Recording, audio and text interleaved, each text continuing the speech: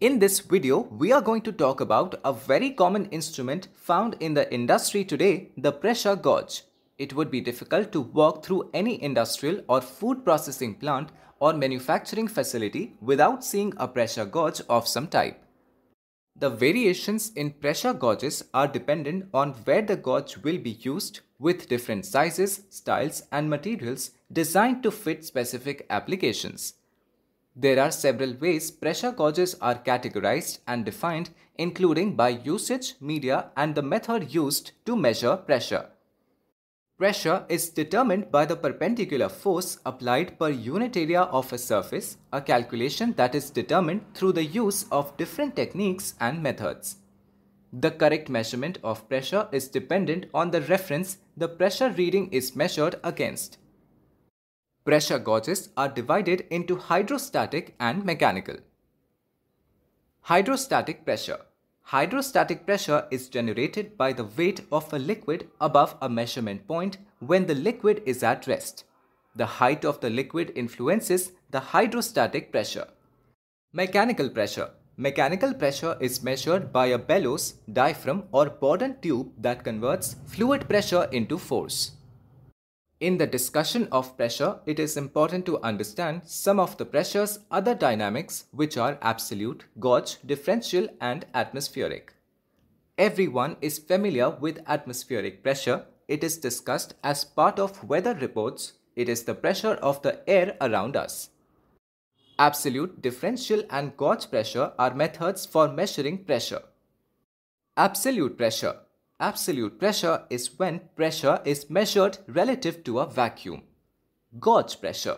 Gauge pressure is the pressure relative to the atmospheric pressure. This form of pressure is positive when it is above atmospheric pressure and negative when it is below atmospheric pressure. Differential pressure. Differential pressure measurement is measuring the difference between two types of applied pressure.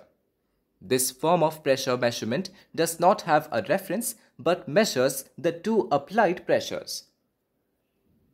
Types of pressure gauges Absolute pressure gauge Absolute pressure gauges are used to measure pressure independent of the natural fluctuations in atmospheric pressure. A reference vacuum is attached to the side of the measuring element which is not subject to pressure it has zero pressure with no variation. A diaphragm separates the media chamber from the vacuum chamber and deforms into the vacuum chamber as pressure rises. The deformation and change are converted into a pressure value. Bellows pressure gauge The bellows in a bellows pressure gauge are made of thin-walled, springy metal connected tubes that form a shape similar to an accordion.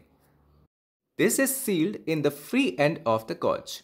As pressure is applied, it acts on the bellows on the free end causing it to expand and produce movement. Bellows pressure gauges are very sensitive and used for low pressure applications. Bourdon tube pressure gauge A Bourdon tube pressure gauge has an elastic tube that is soldered or welded on one end into a socket. A change in pressure causes a deflection in the tube. This is proportional to the applied pressure and is sent to a rotary gear with a pointer. The operating principle of a Bourdon pressure gauge is that a curved tube will straighten when pressure is applied. This is indicated by a dial or digital readout. Capsule pressure gauge a capsule pressure gauge has two thin concentric corrugated diaphragms that are sealed tightly together around their circumferences. One of the diaphragms has a hole in the center that allows the medium to enter. When pressure is applied, the diaphragms expand or contract. Diaphragm pressure gauge A diaphragm pressure gauge is elastic and becomes displaced when pressure is applied. This type of pressure gauge works on the same principle as a Bourdon pressure gauge but measures pressure using a diaphragm instead of a flexible tube. Differential pressure gauge Differential pressure gauges measure the difference between the pressure in two chambers that are separated by an element that moves back and forth according to the changes in pressure. The movement of the element causes a movement in the pointer on the gauge face or provides a digital display reading. Manometer pressure gauge. Manometer pressure gauges measure pressure on a fluid by balancing one column of fluid against the second column of fluid. This type of pressure gauge is the simplest and consists of a transparent tube in the form of a U that is partially filled with a manometric fluid like mercury.